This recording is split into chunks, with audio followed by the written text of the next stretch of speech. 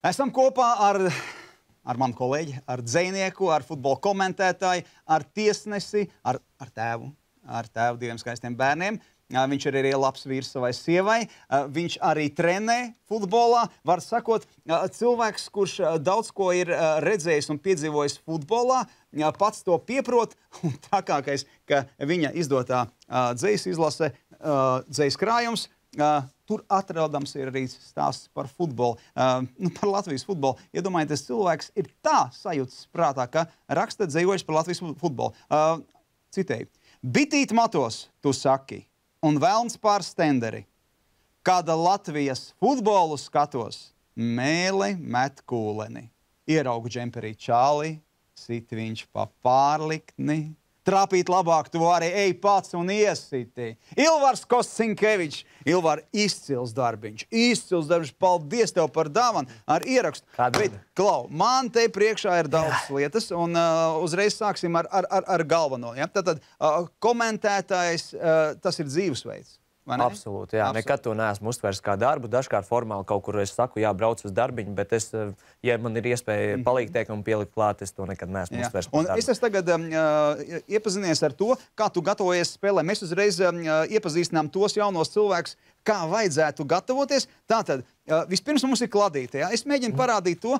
Šis ir viens spēles kā sagatavs. Ja? Jā, tas ir pats, pats skelets, pats svarīgākais. Tas ir skeletiņš, Skeletiņš. uz kā balstās visi tie Jā, muskuļi. Ja? jā. Katra spēle, respektīvi, viena lapa tiek veltīta komandām. Augšpusē ir mājiņš, apakšā ir viesņas komanda. Jā. Visi sastāvi izvietojumi spēles laikā atzīmē dzeltenās kartītes, golus, piespēles, pārkāpumus, labākos momentus. un Tur blakus ir statistika, būtiskākie fakti par katru komandu vai katras komandas spēlētāju. Vienai spēlē, protams, tu gatavojies iepriekšējos 20 gadus, ja? bet uh, tas, kas ir aktuālais, cik mm. laika tas aizņem? 6 stundas, 5, 4 Šobrīd es teiktu, 3-4 Trīs, četras stundas. Bet parasti, tad, kad es sāku pirmos 5-7 gadus, tas noteikti bija 8 stundas. Neskaitot tās spēles, daudzās, ko es esmu skatījies, lai gatavotos un labāk iepazītu komandas. Uh, Šeit ir Melnkalne, Latvija. Svaigs uh, mačs. Tas ir ka- ka- kas, jā. kas ir īpašs, kas ir jāizceļ? Pirmkārt, izvietojums, es saprotu, kas vēl, ko tu vēl te pieraksti, kas tas ir? Uh, tas, kad spēlētājs ir apvilkts, tas nozīmē, ka viņš spēles gaitā ir nomainīts un blakus pierakstīts spēlētājs, kurš nāk laukumā. Okay. Blakus tur ir būtiskākie fakti, piemēram, Daņa Kazakeviča dažas atziņas par Latvijas izlasi pirms spēles un tad spēles Aha. laikā. Tā teikt, bullet punktos viss ir atzīmēts. Man ir viegli pieķerties uh, uh, tādā brīdī, kad tas ir vajadzīgs, precīzi pateikt, ko Dainis ir teicis. A, kur spēles. šeit? Melnkalne ir augšpusē. Es, uh, akcentiņš, jā, tur ir par uh, komandas uh, galveno treneri. Ja? Jā. Jo viņš no tā sastāvā, var teikt, jo viņi spēlēja daudz ar otro sastāvu rezervistiem. eh, Nu, tāds spēcīgākais stāsts cilvēks no 1995. gada uh, ir treneris arodā jau. Nu, Rūdīts vīrs. Jā, jā, teikt, Rudis, 25 Rudis. gadi. jau Tad, tad pie visa tā, ka tu gatavojies, tavā bibliotekā arī ir nemainīgi četri žurnāli. Jā, katru sezonu Mēs redzam, uh, Sportbild, Jā. tad ir uh, World Soccer. Jā, Tad ir mēs speciāli redzam- izdevumi. Jā. Uh, World Soccer speciāli izdevumi, kas Jā. pirms sezonas apkopoja. Un Tad Kikerīts. Kikerīts, jā. Tas ir Kikerīts. mans uh, tāds garšīgākais, trīs, četri žurnāli, kas ir pirms katru sezonu. Katras sezonas uh, ir uh, te ir redzams, ka top līgas ir viena apkopots, citā ir Champions League komandas, kas grupu turnīrā spēlē. Tad tālāk ir sezonas preview vai rezumē, tātad pirms sezonas apraksti, kā kurā līgā klubi ir gatavojušies, vai pēc sezonas apraksts, kā komandas ir aizvadījušas sezonu, plusi, mīnusi, kas noticis būtiskākais. Tur ir tev jau rokā stāv taktiskie zīmējumi. Pirms, jā, tur ir redzams, komandas Saint-Germain ar, uh, Atalantu. Atalantu. Jā, tas bija. Un, un šīs šī kaudzīte, šī kaudzīte pirms spēles tiek izdrukāta. Ja? Jā. Tad iepazīsties Jā, ar jā. sastāviem, ar uh, transferiem, ar backgroundu. Tur ir viss, tur ir Faktiski- vēstures, savstarpējās Jā. cīņas vispār kā klubiem tajā. Un, un var arī nenoderēt. Jā, ir, ir spēles, Var kas ir tik nenodēt. aizraujošas, ka, ka tu saproti, ka cilvēku piebāzt ar faktiem. Tas nav vajadzīgs. Fakti, visi šie stāsti ir vajadzīgi fonam. Tātad Jā. es redzu, ka tur uh, nemaņa Matičs vai šajā gadījumā Neimārs varbūt skrien izpildīt stūra sitienu. Tad es par viņu kaut ko Jā. pastāstīšu. Tas ir brīvais brīdis. Un pēc tam atkal pats svarīgākais šajā pasaulē ir tas stūra sitiens. Kas notiek soda laukumā, kur seko piespēle, vai ir sitiens, nav sitiens, vai ir ātri pārējai pretuzbrukumā. Viss šis ir ļoti Kāpēc ļoti tu esi iesprūdis, sasprāstīts? Saspraudīt ir tas, ka tas man prasa mazāk par sekundi, lai no Parīzes Saint-Germain, no Parīzes pārceltos uz eh, Itāliju, uz Atalantu. Un tas notiek ļoti ātri. Man Jā. ir viegli strādāt. Parasti ir tā, ka centrā ir tā galvenā lapa, tas žurnāliņš tagad, jo es mainīju konceptu, kā es uh, gatavojos spēlēm. Man mājās ir tāda biblioteka, ka man mājās pašam vairs uh, nebija vietas. Jā. Es aizvedu uz laukiem, tagad pie vecākiem, tagad viņiem vairs mājās nav vietas. Nu, Paga, nu, es saprotu, ka Latvijas izlases spēles tu komentē Latvijas izlases skreklā. Jā, parādi, kur tas līdzi. Nu, vien jau var. Tu pārvietojies ar somiņu, kurā tas viss Šis ir. Šis ir gandrīz jāsaka man mīļākais, lai arī man Kāpēc? ir uh, Ginta Freimaņa un Arta Lazdiņa krekli. Superīgi čaļi un uh, vienmēr uh, ar sirdi dvēseli. Bet, šis... Bet šis ir, varat minēt. Tas ir tavs. Gandrīz. Roberts Savaļnieks. Savaļnieks. Man ideāli uz augumu vienkārši uzliek. Tāpēc, ka ideāli, ideāls augums tev un Savaļniekam, vai, vai kāpēc Savaļniekam? Mums abiem. Nē, nu, Roberts Savēlnieks, mūsu puika, viņš man uzdāvināja šo krēslu, par ko es esmu viņam pateicīgs. Cita, cita vērtība, cita jauda. Un... Mm -hmm. vai, vai tu no rīta pamostoties jūti, kā mēlī tev jau locās? Principā, vakarā būs jāizmanto. Lokās ļoti labi. Un, un, nē, nu, dažreiz es teikšu, godīgi, izaicinājums ir diezgan liels. Kaut vai šajā brīdī, kad strādāju pie liela projekta, par kuru mēs droši vien mazliet jā, jā. parunāsim. Uh, rīts sākās 6 no rīta, atslēdza signalizāciju un tā tālāk. Uh, Hallei Un uh, bieži vien desmitos vakarā, tad, kad visi jau seni gultiņās, man ir jaudīgākā dienas daļa. Sākās man ir jāvālē Liverpool pret Jā, vienalga, Madrids Atletico, vai ne? Un, uh, un uh, tad vēl ir papildīgs, un tā tālāk mājās atbrauc divos naktī. Nu, tad gan es esmu lupat, bet tu jau nevari iemigt, iemigt adrenalīns, gribās vēl paskatīties kaut kādus vārdu gūmus un tā tālāk. Jā, nu, tad jā. tas miedziņš ir dažreiz īsts. Es nevilkšu, es nevilkšu garumā. Uh, es nevilkšu garumā. Man ir Antolija Krepāna sagatavots teksts. Mēs pārbaudām jaunos komentētājus. Daudzi pirms tevis ir šeit bijuši. Uh, teksts visiem vienāds ir uh, jānodragā tā. Jā. Nu, pret tevi būs īpašas prasības. Es... Temps, emocijas, Jā. uh, kāpinājums. Tu esi atskaites punkts, un, ja Visiem kaut kur nākamā, nokļūdīsies, izdari labāk par Ilvaru. Ja var izdarīt, uh, tagad tev uh, izdara labāk par Tolīku. Uh, esi gatavs? Vienreiz jau var. Jā, atslēdz signalizāciju. Sākam! Tā es izspiežu pogu. Esiet sveicināti, cienījamie futbola draugi. Šodien viens no aizraujošākajiem sezonas mačiem, kurā izšķirsies trofeja ceļos uz Parīzi vai ceļos uz Itāliju. Tātad uzbrucējiem ir trīs varianti. Piespēlēt pa labi, piespēlēt pa kreisi vai mēģināt ielosties pretinieku pusē. Pašam izskatās, paši viņš izvēlas trešo. Apspēlēs viens pretinieks, otrs, trešais. Nepieciešams saulaicīgi piespēlēt uz malu. Brīvajam partnerim tāda arī sek, un tagad tikai jātiek izreikināties ar pretinieku vārdsaktu. Bet kurš teica, ka iziešana vienam pret vārdsargu ir viens pret nulli. Vārdsargs nav nekāda nulle. Lūk, bet šo žestu gan nevajadzēja tiesnesim rādīt. Te nav dziesmu svētku kora mēģinājums, bet pats neveiksmnieks nav arī nekāds virsdiriģents. Ej tagad un atpūsties! Opa! Atpūties, labi, labi, jā, jā. labi, labi. Pārteikšanās komentētāju sakarā. Jā. Uh, nu, tas būs. Tā ir tā kā nezāles, vai ne? Nezāles, bet no katra nelabuma var kādu labumu izdarīt. Nezāles arī labs. Kād, kādreiz kaut kas garšīgs iznāk ārā. Ja? Ja? Un es teiktu tā, es diez, nu, man, ka, teiksim, komentētāja karjera sākās ar Francijas futbola čempionātu. Tad, kad es skatījos tas, kā viņi komentē, tad es īsti nesaprotu, kur es īsti atrodos, kurā virzienā man iet. Jo sākumā tu kā jauns komentētājs būdams meklē to savu ceļu. Un kāds ir tavs ceļš? Tagad, kā Mans ceļš ir. No gaiziņa, jo tu dzimsi gaiziņā. Jā, jā. Nu, nu, nu gaiziņa kalnā nē, bet tajā galā. Tornī arī esmu bijis. Tātad, tad, no gaiziņa, kāds ir tavs ceļš? Jā, pirms eh, reklāmas ielapas mēs dodamies. Uh, ļoti forši. 17 gadu vecumā es nospraudu mēķi, es gribu būt komentētājs, un 55 gadu vecumā es ceru, ka es komentēšu kā kreipāns. Sanāca mazliet ātrāk.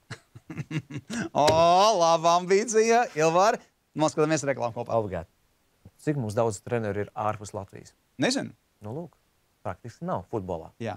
Tur ir atbilde. Mēs futbolisti nespējam konkurēt, mēs treneri nespējam konkurēt. Jā. Un izlasi mēs nespējam konkurēt. Nu, tā arī atbild. Arī tiem, kam ir atšķirības dibens, kas ir sievietēm, nu, ka viņas tā kā počējās, viņas grib tā kā, tas arī mūsu kultūra tā valkās. Jā, Jā.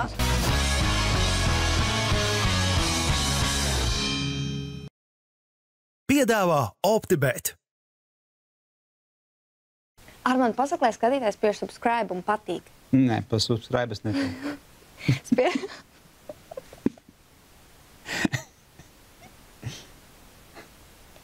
Nu.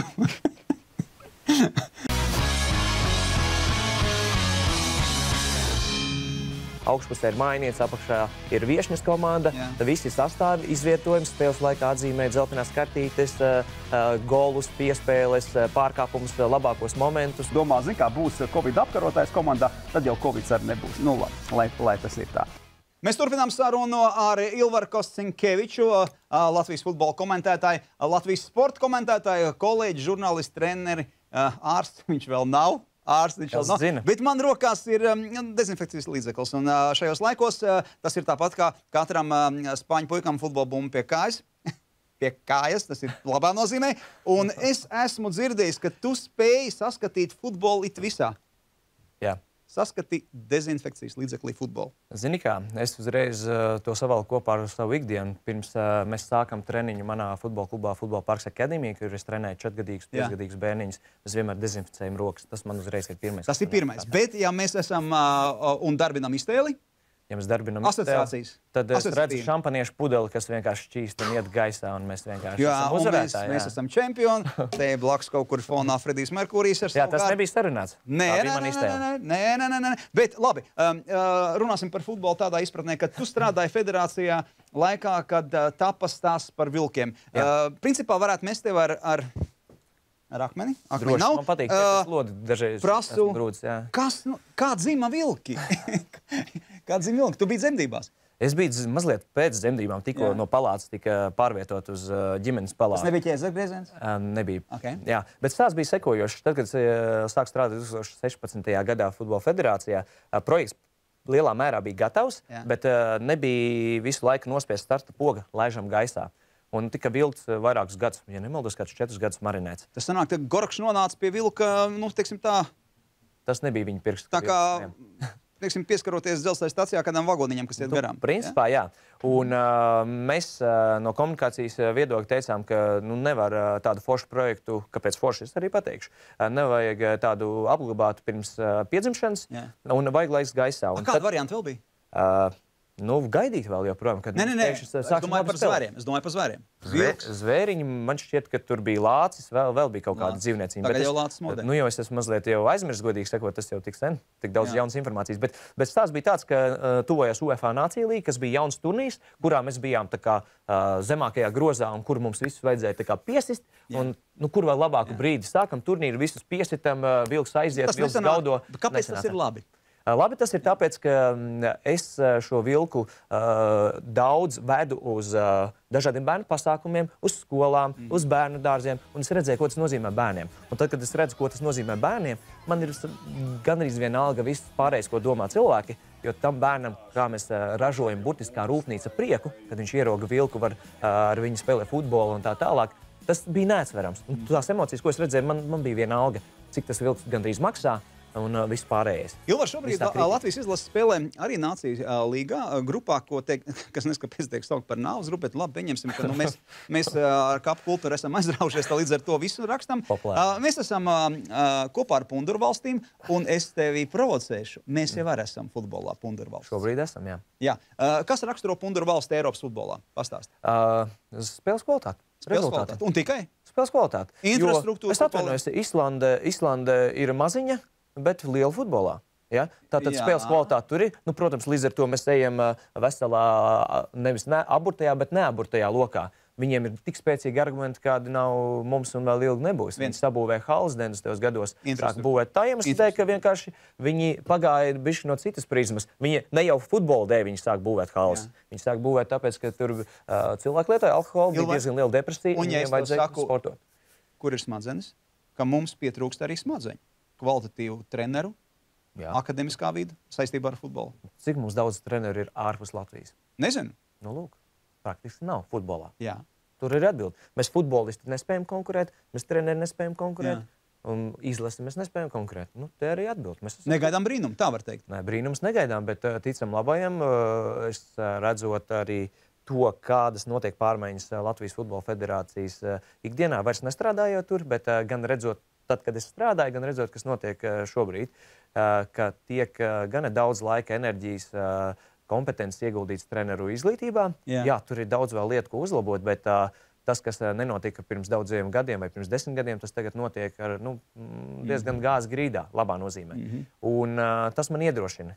Bet tas process nenotiek ātri. Man daudzi saka, ka nu, futbolists jau neko nemāca. Uh, nu, kad būs? Es saku, ļoti īsi, trīs teikumos tev atbildēšu. Ļoti vienkārši. Gribi? Nu? Jā.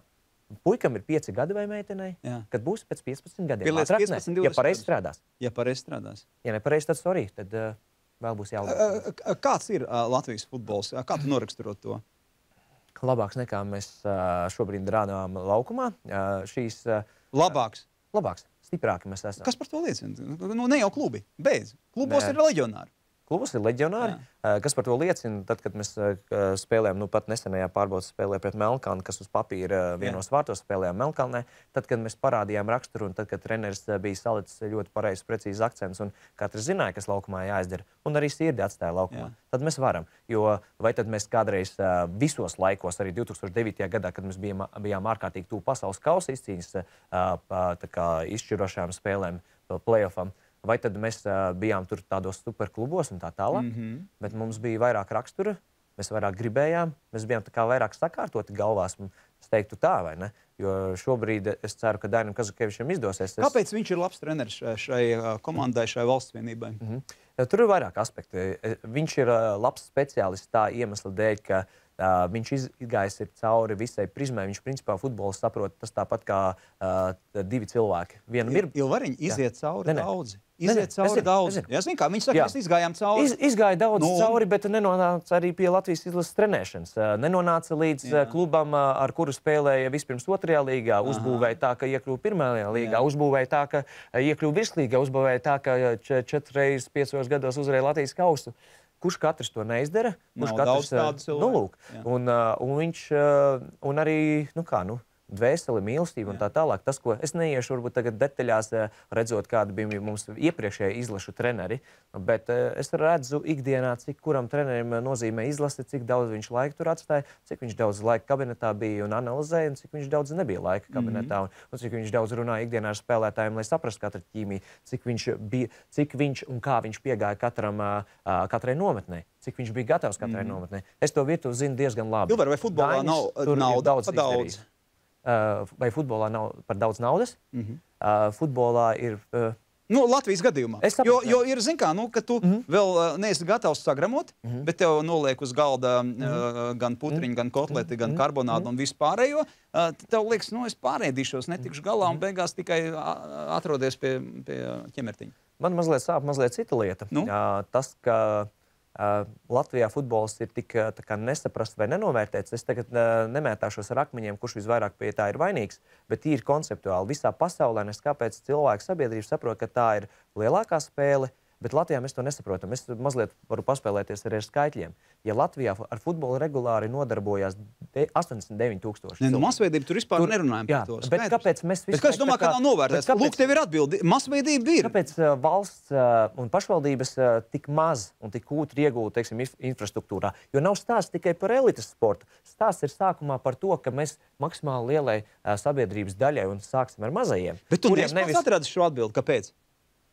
Kāpēc tā ir? Kāpēc tā ir? Nu, saproti, nu, tas jau nerodās vienkārši. Ja? Vieglāk ir uzsist uz pleca tad, kad tu esi karalis un tad, kad tu atceries, cik bet- daudz draugu bija bet 2004. un futbol- Jā, 2003. jā, jā, bet Nu, arī tad, Nu, tad, kad rezultāti pasliktinājās, tad kaut kā nebija. Arī tad tas nu, es atvainojos, ar kamerām uzvarēt pasaulē ir mazliet vieglāk. Es nesaku, ka tie, Protams. es nesaku, ka tie puiši ir diletanti. Viņi Jā. savā nišā dara labi savu lietu. Bet uh, vienkārši mēs salīdzinām tā, sporta veidu, kur desmit cilvēki pasaulē prot, no, Jā. uh, labā līmenī braukt. Un salīdzinām, kur miljoniem. Bet varbūt mums nevajag salīdzināt. Ilvar, varbūt mums vienkārši vajag spēlēt to spēli. Nu, ko mums tur salīdzināt? Jo nu, tik bagāti, cik esam, tik esam. Arī 30. gados tieši tādas pašas problēmas bija, ja palasa vēsturi. Jā, nekas protams. mainījies. Ja? Paiet cik tur gadi, arī ir tas pats. Viss. Bet mainās tendences pasaulē un pieeja tam visam. Islandē eh, izdarīja ļoti loģisku soli. Viņi negribēja uzbūvēt uh, stiprāko uh, vai top 4 izlasi Eiropā, Jā. kas viņiem izdevās tur iekļūt. Ko Angļiem. viņi gribēja? Viņi gribēja iedot sabiedrībai veselību un e, vidi, kurā justies labi un būt veseliem.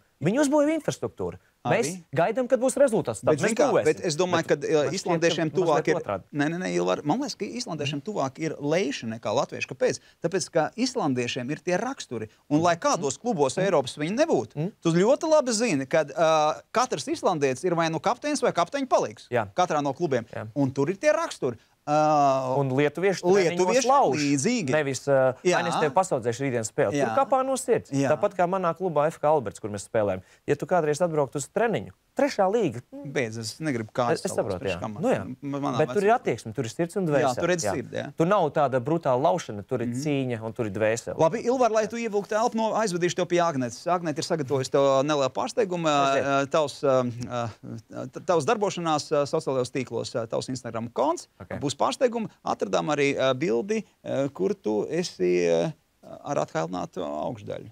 Vienreiz jau var dzīvot. Ko tas nozīmē? Paskatāmies. Ir pienācis laiks, kad mēs iztrizējam mūsu ciemiņu Instagram kontu. Ilvar, ir tava kārta. Vai tu esi gatavs? Nē, esmu pārliecināts vīrietis. Skatāmies. Pirmajā bildē mums ir ievērojama zvaigzne. O, jā. Pastāst, lūdzu, izskaidro. Luīss Špigu, 2011. gads, un uh, iespēja intervēt pasaulē vienu no izcilākajiem spēlētājiem, kurš ir spēlējis uh, divos karaliskos klubos, jāsaka, jā, Barcelonā un, un, un Madridē. Mhm. Un viens droši vien no visu laiku foršākajiem spēlētājiem. Kā tev to frizūru patīk? Fantastiska, mazliet uh, labāk nekā tagad. Jā, es atceros, ka mēs satikāmies mazā uh, universālā veikaliņā. Un, uh, es biju pārsteigts, cik viņš bija vienkārši. Viņš tā kā atnāk, nu, ko tu gribi sprāti iedzers? Ok, šis jau bija vienos svētkos, uh, tās bija kāzas, nākamais rīts.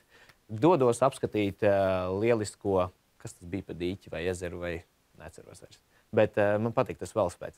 Mm -hmm. Dolas saltā bija. Nē, kaut kas tam tā ir. Kur palika tas cilvēks, kas sēdēja aizmugurē? Nu, tas jau ir tā, ka esmu jau ā, izmetis kādu loku apkārt. tur, ar, tur arī tur palika. kur Tur arī palika. atpūšās. Jā. O, jā, šis ir Arthūra Vaidera kausa izcīņa. Tā ir Arthūra Vaidera kausa izcīņa par godu Latvijas izcilējiem futbola arī žurnālistam, sporta žurnālistam, kolēģim, kurš diemžēl ir devies mūžībā. Mēs viņa piemiņai rīkojam netālu no pļaviņām katru gadu sacensības. Savācās, sapulcējās labākie viņa kolēģi, draugi un spēlējam futeni pļavā vienkārši. À, šis ir pasaules čempionāts minifutbolā pagājušajā gadā Krētā, kur es pārstāvēju Latvijas izlasi. Spēlēju Tātad tu neesi modelis. Ā, šoreiz esmu. Mm -hmm. Jā, bet nu, šoreiz man neļāva kreklu novilkt. Es jau jā, biju gatavs. Tu esi modelis, kurš pārstāvēja. Pārstāvju Latvijas izlasē. Mm -hmm. Bija, var teikt, 35 gadu vecumā piepildījis sapni spēlēt Latvijas izlasē. Jā, jā bija vienu brīdi atpakaļ, dažus gadus atpakaļ, tā, tradīcija kopā ar ģimeni braukt, stādīt kokus. Pats esmu no, principā, no laukiem, no Gaiziņkalna apkārtnes. Jā, bet šis nav Gaiziņkalnā, šis ir mazliet tuvāk Rīgai. Bet jā, man patīk daba, patīk tās lietas, dabiskās svaigums un, un kaut ko atdot dabai atpakaļ. Es domāju, tā ir ļoti laba lieta. Paldies! Lieliski skaidrojumi. Tagad mēs vairāk tevi zinām, zinām, ko šis bildes nozīmē. Un aizdo- aizdosimies reklāmas pauzē. Kāpēc ne? Tad, kad es strādāju federācijā, es tā klusītēm sāku vākt autogrāfus, programmiņas, kreklus ar autogrāfiem un tā tālāk eh, uzkrāt. Jo es zinu, ja mēs eh, šādi attieksimies pret tām lietām, pēc 20 gadiem varbūt kāds pamodīsies, ok, taisam muzeju, bet mums nekā nebūs. Cirksti arī var teipot, un daudz izvēlas to nedarīt, jo tā ir intīma tehnika. Jūs paskatieties, Tā ir intīma tehnika. Principā, nu, vairāk nekā intīma.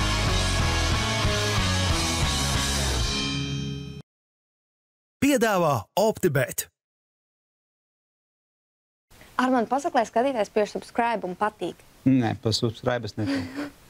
Spie...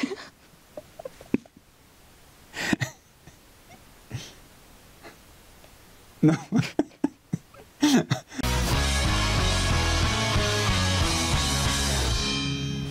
Man mājās ir tāda biblioteka, ka man mājās pašam vairs uh, nebija vietas. Jā. Es aizvedu uz laukiem, tagad pie vecākiem, tagad viņiem vairs mājās nav vietas.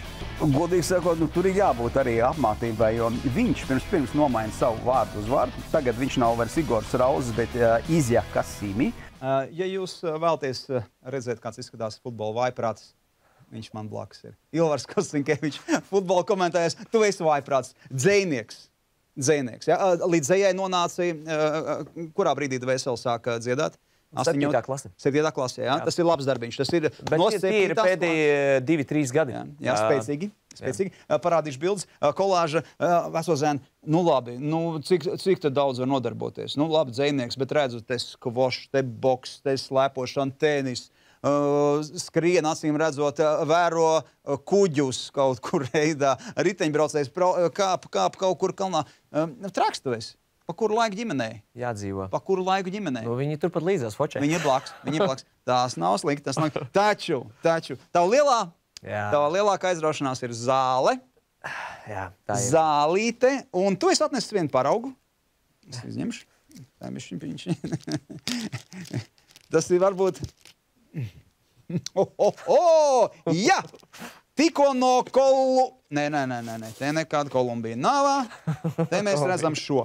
Ilva, Tagad, ja es redzu šo, un ja es redzu tavu krēklu playoff, tad es saprotu, ka Latvijā tu ar savu trako futbola mīlestību esi nolicis arī priekšā kopā ar draugu vienu traku projektu. Stāst, kas tas ir? Tā ir playoff arēna, futbola hale. ar Playoff arēna. Jā, playoff arēna ar septiņiem futbola laukumiem. Minipič, proti, mazā izmēra laukuma, 11 metru platumā, 20 metru platum, uh, garumā, 4 pret 4 Nav spēlē. jāskrien daudz. Kaivs vienkārši. Kaivs. Jā. Cik liela vārti? Uh, Vārti kā 2x3, kā nu, tālu futbolā. Jā. Kur dabūja naudu? Uh, es piedalos ar smadzenēm, ar savu sirdi, dvēseli un visu pārējo. Naudiņu gādā Kristofers Ritovs, kurš ir pirms tam daudz gadu strādājis būvniecībā, Francijā mājas. Uh, viņš šo projektu tipu pamanīja Francijā, pats vienreiz uzspēlēja un aizgāja ciet. Un tad, kad viņš uh, pirms trim gadiem vispirms mani uzrunāja, man ļoti interesēja, bet, uh, bet meklējot telpas, nevarēja tajā brīdī atrast atbilstošas telpas Rīgā, lai varētu to darīt. Jā. Tad viņš turpināja savas uh, biznesa lietas Francijā. Un ko mēs te redzam? Un te mēs redzam Play for Renu pirms vairākiem mēnešiem. Un šeit izskatās, nu, kas te var būt. Kur tas ir? Sarkandaugavā? Nē, tas ir uh, pārdaugavā. Uzreiz, kad braucam no centra pāri kalniem un tiltam, Jā. pārbraucam pa kreisi ir kalniem biroja. un Tur reiz tam Ok, birojam 150 ok. metri. Tur ir Labi, labi. Klausies, uh, cik tur laukumi septiņi? Jā, tad Septiņi. septiņi laukumi, uh, visi tā kā būros, krātiņos. Jā, fantastiski apstākļi. Tātad bumba visu laiku ir spēlēta. Tu saki, nevar, nav jāskrien. Pēc desmit minūtēm es mironis labā nozīmē. Lūk, un segums. Šis ir segums, kā Jā. tops.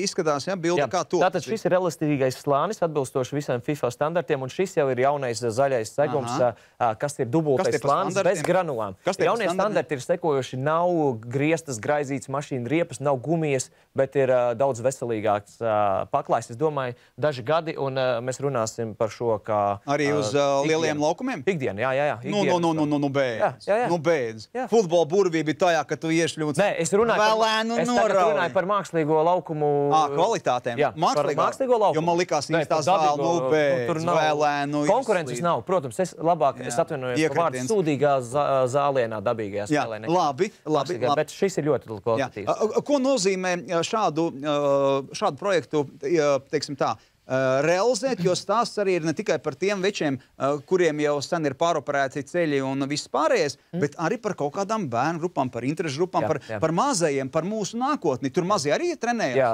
es pats trenēju bērnus tur, un bērniem tie apstākļi, manuprāt, ir ideāli. Kāpēc? Ja mēs spēlējam ārā laukumā, bērniņš 4 gadīgs, 5 gadīgs aizsit bumbu, Paga- bumba aizripo Tu 30 teici, metrus. iekšā viss ir. Jā, uh, pavasaru, kad bērni trenējas ārā, ir viens. Ziemā viņi parasti nāk iekšā. Ok. Viņi sāk trenēties ar Un- un mūsu gadu laiks? Spēlē uz dēļu grīdām, tas Jā. ir viens. Šeit viņi spēlē, var teikt, vasaras apstākļos, iekšā ļoti komfortā vidē. Un Viņa apkārt borti, tīkls, bumba visu laiku ir spēlē. Ko tas nozīmē? Tas ir daudz reižu vairāk pieskārienu bumbai nekā ārā spēlē, kur bumba tā Tu esi laizripo. spiests par savu tehniku domāt nepārtraukti. Un, nu, nu, parēķini. Tā, Ārā treniņa laikā bērniņš pieskarās bumbai teiksim, 40 reizes. Iekšā pieskarās vienā treniņā esi to rēķinājis. 250 reizes. Tu esi to jā. rēķinājis. Un Tātad vienā treniņā viņš pieskarās 200 reizes vairāk. Nedēļā viņš pieskarās 600 reizes vairāk. Mēnesī viņš pieskarās jau 6 reizes 10. Jau Ok, ok, ok, 6000 matemātiķi. Kāpēc domā, ka tu esi labs treneris? Uh, es tā nedomāju. Nē, nu labi, kāpēc tu vispār domāji, ka tu esi futbola treneris? Uh, man patīk to lietu darīt. Es teikšu tā, ka viss sākās ar to, ka uh, man puika, nezinu, kāpēc, nezinu, viņam ļoti iepatikās futbols. Viņš sāka gribēt spēlēt. Aha. Tad, kad viņam bija četri gadi, viņš sāka uh, nodarboties ar futbolu, un es vedu viņu uz laukumu. Uh, pat uh, tā ķēde mazliet citādāk. Mēs gājām uz laukumu pie skolas, Jā. visu laiku aizņemts. Tur visu laiku futbola pārstāvja. Tas ir tēva trakums. Tas ir tēva trakums. Bet es Ko? vēl pateikšu kaut ko citu. Nu? Tur nav. Uh, uh, es nevienā brīdī viņu nedzinu, nestumju. Viņš pats. Viņš pats. Tā ir atšķirība. Es zinu, ka dūli vecāki ir, kas Jā. Jā. grib no saviem bērniem izaudzināt zvaigznes un vēl tādus brīnumus. Uh, Gatis vienmēr pats Cik prasa, mīļi, ka grib. Cik mīļi, cik Nu, mēs mīļi. uh, radām vidi, lai bērniem ir vienkārši brīnums. Klausies, uh, cik tas viss maksā? Pirmkārt, uh, projekts, uh, cik mm -hmm. izmaksāja, un otrs, ja es gribu tur spēlēt, uh, mm. cik tas maksā? Mm. Uh, projekts, uh, projekta kopējās izmaksas ir apmēram 450 tūkstoši eiro. Kredīts nav ņemts. Ir. Ir? Ir, jā. O, vecīt. Jā. Būs jādod. Būs jādod, jā. Jā. Jā, tas nozīmē, ka es tagad ejot pie tevis, Jā. cik man ir jāmaksā. Uh, atkarīgs, kurā laikā tu nāc. Nu, piemēram, tu- pēc tu- darba. Pēc, Pēc darba. darba, Kas ir pats populārākais laiks amatieriem? pēc darba. Es domāju, ka astoņi. Astoņas vakarā, ja tu Jā. nāc. Tu maksā 57 eiro plus PVN. Rupi sakot, ir Par sešas- laukumu? Jā, par laukumu stundām. Vārti ir. Vārti viss ir. Bet es tev izstāstīšu. Tātad tu maksā, rupi sakot, 68 rastīti. Uh, ja nāk 10 čaļi, tā tad ir 6,8 eiro no cilvēka. Tas ir ar spēlēt 5 pret 5. 5 pret 5, Ok. 4 pret 4. Var mainīties Jā. un tā tālāk. Ok, mēs Bet mums uh, pieeja ir mazliet ar mani citādāka. Mēs uh, nu, parādām cenu, cik maksā laukums. Vispārējais 5 bez maksas, tu nāc autostāvēt bez maksas. Kas mums bija svarīgi, lai ģimenes nāk, bērnu auklīti darbdienu vakaros bez maksas. Tu gribi spēlēt, tev nav kur sīci atstāt. Tu nāc ar bērnu, mūsu auklīti pieskat bez maksas tev Es bērnu. gribēju teikt, ielaid pirtī bērnu, bet nē, nu labi. Klausies, pirti jūs uh, sadegsiet šitā. Es domāju, sadegsiet finansiāli. Nu kā, pirti bez maksas, vans parāds, kurš, tu- kurš to elektrības rēķins apmaksās? Vai to ar malku? Uh, kurinās? Kristofers Ritovs desmit gadus ir uzņēmējis O, darbībā. Viņš ok. ir gudrs. Ja ir kompetents, viņš ir izreikinājis. viņš ir izreikinājis. Un, uh, un, un, uh, jā. Jā. Bet uh, tur ir, uh, uh, kas ir būtiski. Te nav tāds uh, tikai tā naudas stāsts, te Jā. ir da daudz dvēseles stāsts. Jo tas, kā mēs pieejam, mums gribās, lai cilvēki ir ar uh, labu sajūtu. Jā. Tāpēc mēs par tiem bērniem domājam, cik daudzās vietās tu zini, ka auklītis strādā tieši priekš klientiem, kas nenāk uh, atstāt pie auklītēm bērnus, kas nāk kaut ko citu darīt. Mm. -hmm. nu, droši vien, ka nav daudz uh, piemēru. Kristoferam ir uh, viena laba lieta. Viņš ir daudz bijis Eiropā, ceļojis pa pasauli, uh, sakrājis daudz tādas labas pieredzes. Mm. -hmm. Un daudzas lietas labas var atvest uh, uz Latviju. Nevajag jau vienmēr di- divriteni izdomāt. Taisnība. taisnība. Nu, un, uh, es saprotu, ka te, tu esi pat uh, pierunājis Luīsu Figu uh, būt par uh, reklāmas seju. Nu, mēs uh, projektām. sarunājām 2011. gadā. Es teicu, ka es vēl esmu jauns un ambiciozs, bet kādreiz būs kāds liels projekts manā paspārnē. Un, kad būs, tad nāc Nē, man melo, Viņš nevar būt tā. Dear fans and players of Latvian football, it is good to hear that the Latvian Football Federation is involving more amateur players and children in their activities. Are you to develop your skills on the pitches of the playoff arena? Dzīve redz, kā saspēlē, un tas ir ļoti interesanti. Un, un kā tu nonāci līdz tam? Tu vienkārši piezvanīji, teici, vecīt, hei, čau, atceries, es tev interviju. Viņš teica, jā, es atceros, tu no Latvijas, jā, protams, izsaka līdzjūtību par sakarā ar futbolu, bet tev ir jaunas lietas, jā? Zini, kā dzīvē vajag eh, nebaidīties eh, tēmēt uz augstiem plauktiem. Kādreiz es arī par uh, savu dzēpārdomu grāmatu domāju, ai, nu labi, uh, neko paturēšu sev. Bet tad es domāju, tu dzīvē es varētu. Protams, jā, Es varu jādzīvo. iedot dzīvē pievienoto vērtību. Rudolfs ir priecīgs, un es palīdzēju puikam arī. Jā, lai jo šis, viņam- šis ir labdarības projekts. Tas ir labdarības. atgādināšu. naudiņa, visi naudiņa aiziet labdarībā Rudolfam. Jā, Viņa jā. rekvalitācija. Un, un, un, un Rudolfs, ā, Rudolfs ir ā, šobrīd cietis, jā, Jā. cietis nelaimīgā Viņam kārtā. Un, ļoti progresē veselība labāk. un viņš tagad atjaunojās, un viņš Jā. būs uz kājām. Jā. Jā, un tieši. dur viss, tas gan, gan tu vari iedurt, gan viss te ir, Jā, gan durvis. Mēs Jā. pavaram durvis. Tu ļoti pareizi nointerpretēji visus Nu, virzienus. kuros var protams, nu, kāds citādi. Bet, bet man vairāk patīk tomēr tas futbola virziens, ja, kuru, Jā. kuru tu tagad piekopi, un tas entuziasms, draudziņ, ja visiem futbolā Latvijas būtu tāds ā, entuziasms, kā šobrīd ir tev, es domāju, ka viss būtu kārtībā. Būs kārtībā. Jau ir kārtībā daudz, kas būs vēl. Bet aiz tevis, bez, bez uh, tava kompāņona, cik tur vēl cilvēki tādi, kas pavalkās. Jo, zini, kā ir? Šobrīd- uztaisīs projektu, ja? atnāks, šī tas, tas, mm. nu, labi. Jā, mm. nu, viens trakais tur pārdagavā rosās. Vēl viens, divi. Uh, 1. oktobrī mēs atvērām, bija pirmajā vakarā četras grupas, kas spēlēja. Tagad es braucu uz šo raidījumu, astoņas grupas šajā vakarā bija pavēlkās. Ir tikai pirmā nedēļa uz rīņķa. Jā. Un, un jau uh, zvana, Zvana, prasa, kas notiek. sezonu. Tikko piezvanīja viens uh, Ivans, saka, klausies, mēs redzējām, ka jums ir arī TV ekrāna. Varam boks pie jums vienu nakti noskatīties. Es saku, viņš laipni aicināti? Jā. Ņemiet bērnus līdzi, Mēs kā tu esam teici. izklaides vieta, Jo, jā. jo vienā no tiem laukumiem mēs ieslēdzam bērnus. Nu, nu, protams, jā. režģos. Sievas uz pasaules. Un otrās sievas. Jā, un aiziet, viņš skatās boksu. Jā. Bērnu, bērnu ballītes var taisīt. Jau ir jau trīs Jau ir? muguras. Jā, Jau nākamajā nedēļā, šajā nedēļas nogalē nākamā, pēc tam vēl divas jau nobukotas. tā kā Un kas ir labi? Tā kā ir septiņi laukumi, ar distancēšanos var būt forši. Tieši tā, es par to arī Kristoferam teicu pašā Nu? no? sākumā, kad mēs sākām projektu. Es saku, uh, mēs nezinām, kas attīstīsies ar uh, Covid, bet Jā. um, es zinu, ka mums ir septiņi laukumi. Un, ja vismaz desmit cilvēki drīkstēs vienā vietā atrasties, mēs varam 70 cilvēkus čik čik. Jā, ir jā, kārtībā. jā. Klausies, tev plānos ir futbola muzejs. jā, Ir, Vismaz, jā. vismaz nu, labi, kas ir pirmā relikvija, kas futbola muzejā ieejot, ā, kam tur ir jābūt, tavuprāt? Latvijas futbola muzejs. Es gribētu redzēt tur bučus. Es gribētu redzēt bučus no Eiro 2004.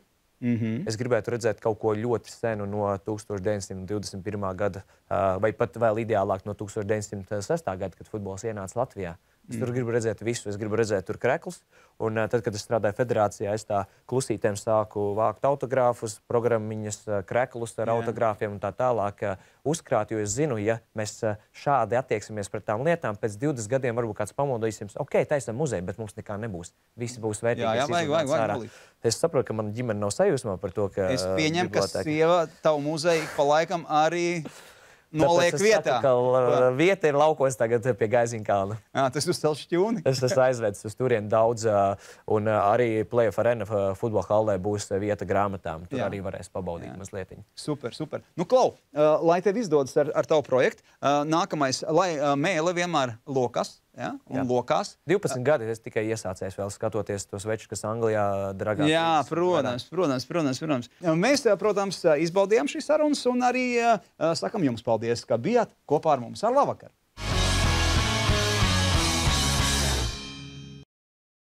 Piedāvā OptiBet. Ar mani pasaka, lai skatītājs pieši subscribe un patīk. Nē, pasubscribes ne. Spie...